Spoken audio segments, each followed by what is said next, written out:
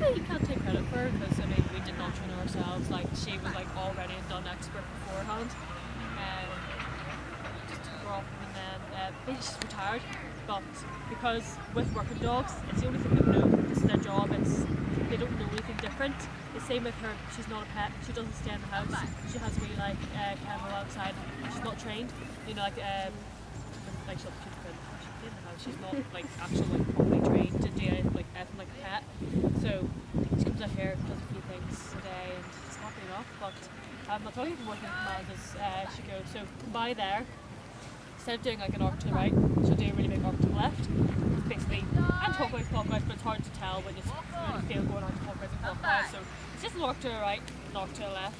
Um, very, very quick, very responsive. But with the sheep here, what we want to do is move them through the herd.